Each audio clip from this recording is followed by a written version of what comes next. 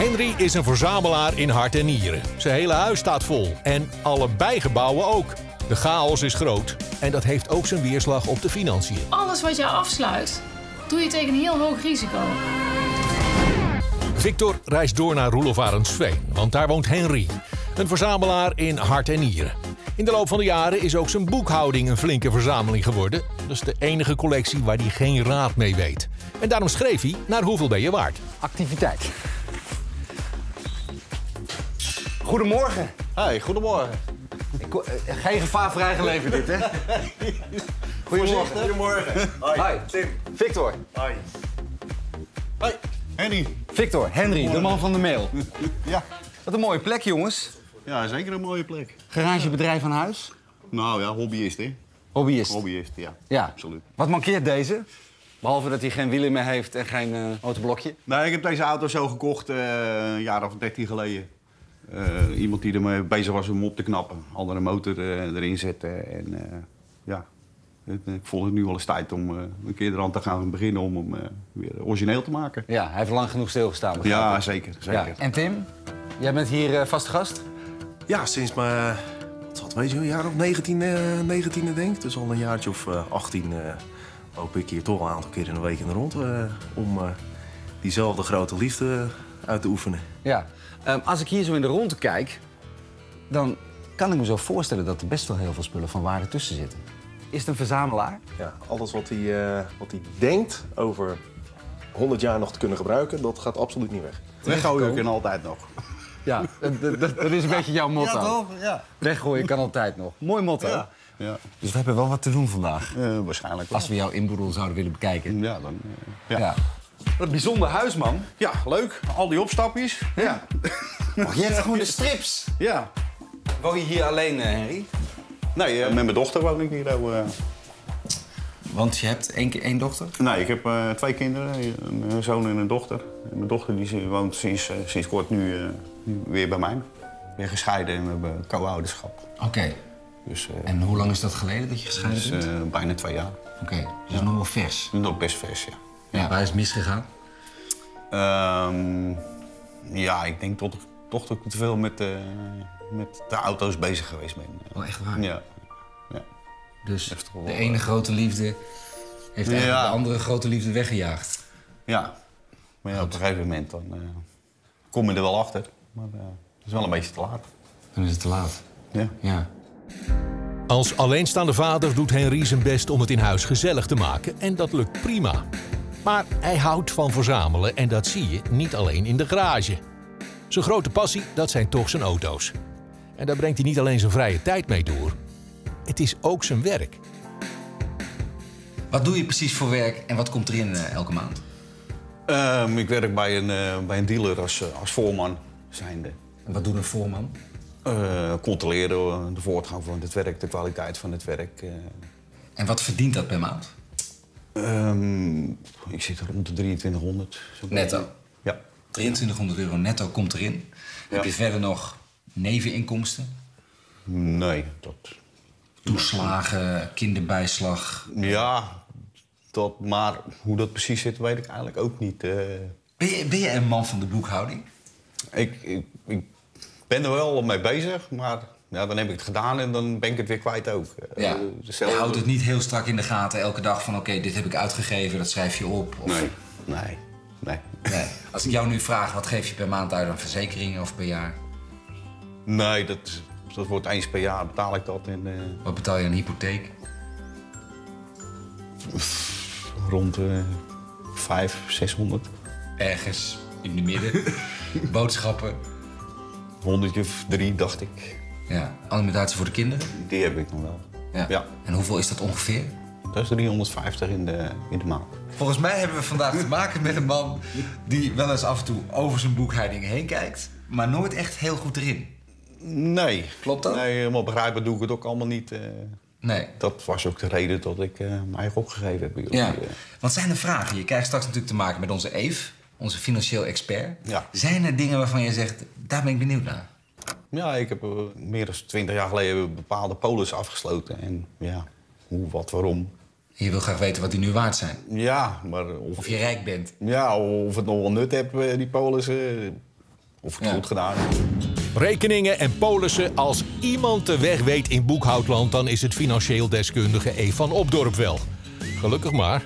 Henry kan wel wat financieel inzicht gebruiken. Goedemorgen. Hey, Hey, hallo. Henry. Hey, Henry. Ja. Eve, hi. Ik kom voor de papieren. ja, ik heb het hier eh, in de kast liggen, dus Oké. het allemaal bij elkaar. Ja. Kijken. Die is van de rekeningen, deze van de hypotheek. Dit zijn allemaal eh, polissen. Een pensioenmap, Ja. de verzekeringen. Ja, dit is wel een paar kilo papier. Oké, dan mag je met mij mee. Henry heeft niet alleen een indrukwekkende collectie spullen. Ook zijn huis en de bijbehorende loods, de kassen en de grond mogen er zijn. De vraag is natuurlijk, wat is die plek waard? De makelaar Dame met Map kan niet missen. Goedemiddag, Victor. Jenny. Jenny, mag ik je niet zeggen? Ja, dat mag natuurlijk. Kom verder, ik zit met smacht op je te wachten. Het is druk.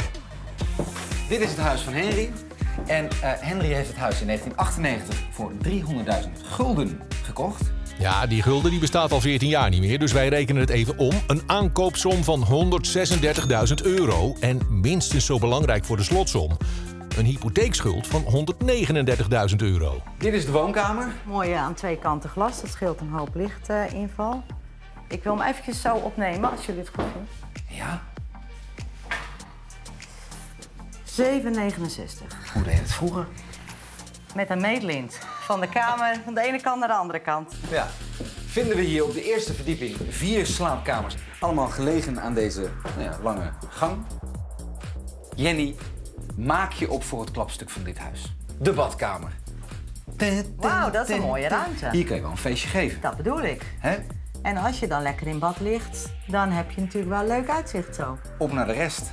Ben benieuwd. Klaar voor? Want daar zal ongetwijfeld nog het nodige te vinden zijn. Kom mee. Nou, en hier begint dan eigenlijk ja, het grote verzamelen.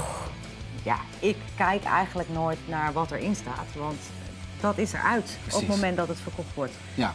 Ik stel voor dat we binnen gewoon even rekenwerk Ja, gaan doen. ja, want het is niet zomaar even Nee, dat begrijp uit te ik. rekenen. Daar moeten we echt wel eventjes serieus Ik, eh, eh, naar ik, kijken. ik ga een kopje koffie voor je verzorgen.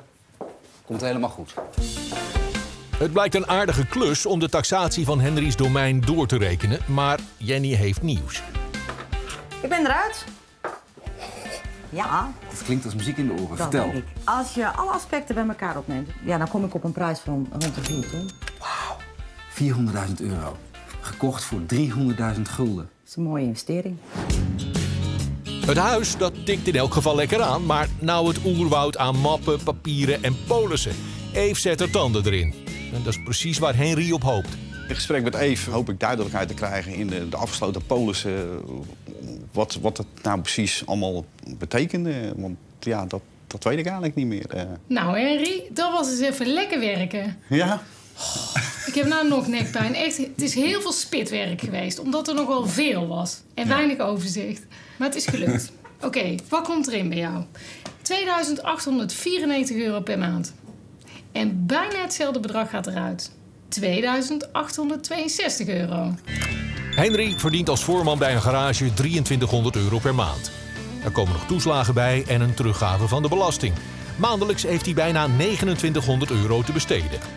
Aan de hypotheek is hij per maand 579 euro kwijt en de auto rijdt hij voor 213 euro per maand. De scheiding heeft voor Henry financiële consequenties. Hij betaalt maandelijks 888 euro aan kinderalimentatie en aan zijn ex-vrouw.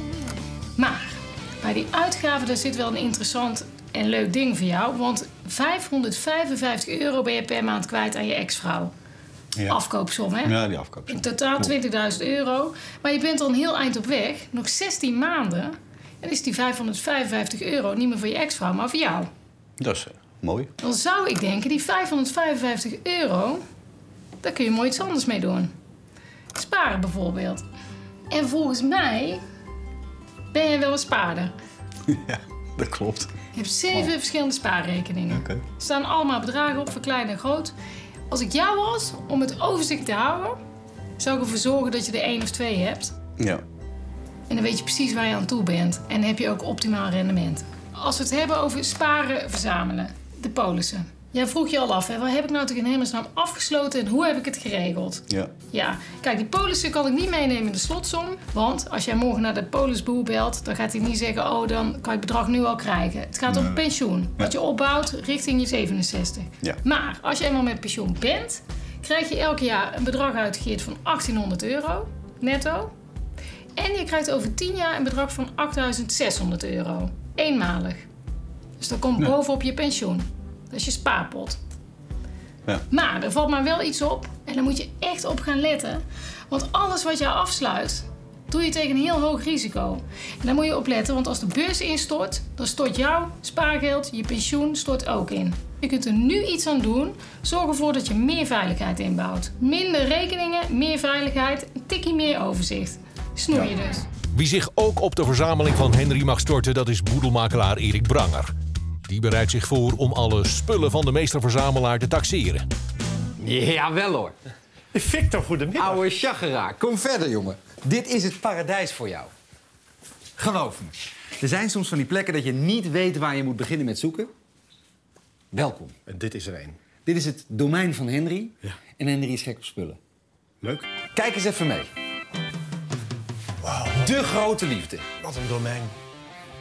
Dit is een eh, Piep Quattro uit 1980. En hij is nog hard bezig, zie ik. Want er moet nog veel gebeuren. Dus ik zie op dit moment nog een waarde van rond de 1000 euro. Maar deze, hij heeft 117.000 kilometer gelopen en hij is uit 2011. Ga eens even lekker zitten. Ja. Het is namelijk wel een Erik-auto, dit. Met je jasje. Nou, een beetje een lage instap voor mij, hè? Waarde? Eh, deze rond de 27.000 euro. Kijk. We zijn net begonnen en we zitten al op 28.000 euro, hé. Maar ik wil je even meenemen naar het volgende schuurtje. Kom. Oh, kijk dan. Er, er is wel veel incompleet, hè? Als je hier kijkt, hè? Ja, hij mist een achterwieltje, maar ja, knie zo die daarop let natuurlijk. Waarde? Ja, er zit wat werk aan. Maar ik vind het nog altijd wel 75 euro waard. Oké, zelfs zonder achterwiel. Ja, ja, ja. Kijk, dit is een beetje de kroeg. Wat is er dan leuker dat je gewoon je eigen poeltafel hebt? Eh 200 euro voor het biljart. Oké, valt mij een beetje tegen. Leuk dit, hè? Ja, ik vind het ontzettend leuk.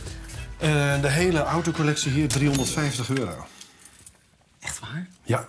Ik heb nog zo'n hele mand thuis. Welkom in de show. Met? Ja, ik denk dat hij dat bord misschien wel bewaard heeft. Misschien is hij hier wel in getrouwd en dat hij daarom deze oude golf bewaard heeft. Ja. Al het materiaal wat erbij ligt, denk ik toch nog dat je hier een kleine 500 euro voor mag verwachten. Kachel. Of telt hij dan weer niet mee omdat hij dan bij het huis hoort? Nee, die kan je bij het huis verkopen, maar dit is gewoon verhuisbaar. Oftewel, dit is, eh, dit is roerend. Ja, wat heeft dit voor waarde? Zo'n kachel rond de 1000 euro. Nou, kitching. Is dat een uh, bruidsboeket? Hebben we hier een televisie? Mooi modelletje. Een propeller aan het plafond. En een airco. 500 euro. Ja. Ah, lectuur. Gewoon voor de betere verhalen. Ja, voor de betere van. Uiteraard. Wat is de uitklap? Oh ja. Dat is een eh, zeer recente poster, dit, hè? Dat is de kalender, man. Ja, van welk jaar? Nou, daar is ze hoor. Je...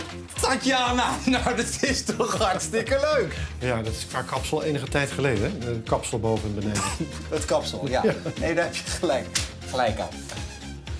Maar, Victor, wat doe je nou? Nou, jongen, Nou, We gaan beginnen bij het begin, hè? 1000, 125, 75, 75, Ja? 50. brengt de totale inboedel van Henry op 54.821 euro en 50 cent. Kijk. Voor Henry breekt het moment van de waarheid aan. Hij wilde weten wat hij waard is. Daar gaat hij nou achter komen. Ja, ik eh, leef wel naar dat slotgesprek toe, want ja, ze maakt je natuurlijk wel een beetje nieuwsgierig. Eve, Ja, steek van wal. oké. Beginnen we met de betaalrekening. Pat, Zo, 8.702 euro. meer dan de gemiddelde Nederlander. Ja, dat is meteen best veel voor op een betaalrekening. Dus een deel van dit bedrag kan mooi naar een van jouw vele spaarrekeningen. Ja. Toch? Want dan krijg je er meer rente op. Ja, Ja, sowieso. heel Ja. verstandig. En wat betreft die spaarrekeningen, heb je enig idee hoeveel al jouw potten bij elkaar waard zijn? Toch rond de 30, Rond de 30? dacht ik. Let op. 30.000 euro, denk jij. Ja. Kijk in huizen. In totaal heb je 43.889 euro aan spaargeld. Dat is toch wel wat meer. Dat is niet mis, hè? Alles bij elkaar geharkt. Ja. Dat is fantastisch. Ja. Ja, best wel veel geld. Dat is 13.000 euro meer dan je dacht. Ja. Oké. Gaan we door met... De hypotheek. Nou, dat is kraakhelder. Dat is een aflossingsvrije hypotheek van 139.000 euro. En dat betekent over 15 jaar is het nog steeds 139.000 euro. Dat weet ik. Dan hebben we nog een andere schuld. Dat is de schuld bij jouw ex. Dat was in totaal 20.000 euro. Daar heb je al een heleboel afbetaald. Dat is nu nog 8.345 euro. Oké, ja. 16 maanden, klaar is Kees. Wij zijn vandaag met man en macht door alle boutjes, moertjes, auto-onderdelen... naar alles wat we zijn tegengekomen hebben we in de handen gehad. We hebben alles gewaardeerd. Dat heeft Erik Branger gedaan, onze inboedeltaxateur. En die is uiteindelijk tot een totaalbedrag gekomen voor jouw inboedel. En dat is 54.821 euro. Je hebt natuurlijk heel veel unieke hoop dingen. geld. Ja, een hoop geld. Ja, dan komen we bij de woning. De woning. En Ja. dat is natuurlijk toch nog best een beetje spannend vandaag. Ja. Want je hebt dit huis in 1998 voor 300.000 gulden gekocht. En hoeveel is het nu waard? Laat maar zien, Eve. Henry, jouw huis, als we vandaag het bord in de tuin zetten, is waard 400.000 euro. Een mooi bedrag. Mooi rond bedrag ook. Ja. Ja, Dan gaan we naar de slotvraag van vandaag. Wij vroegen jou, hoeveel denk je dat je waard bent? Ja, toen heb ik gezegd 2 ton. Toen zei je 200.000 euro. Laat maar zien, Eve. Henry, jij bent waard hier. 360.067 euro. Ja, goed gedaan, jochie. Zo verzamelt Henry toch maar mooi 360.000 euro bij elkaar. Proost, man. Proost. Heel goed gedaan. Van harte gefeliciteerd. Boven verwacht. Ja? Ja. Heb jij thuis nou ook geen enkel idee of wil je gewoon weten hoeveel je waard bent? Check dan even onze website. Klasse, man. Leuk. Ja. Hè? Meer zien? Ga naar kijk.nl. Kijk opent je ogen.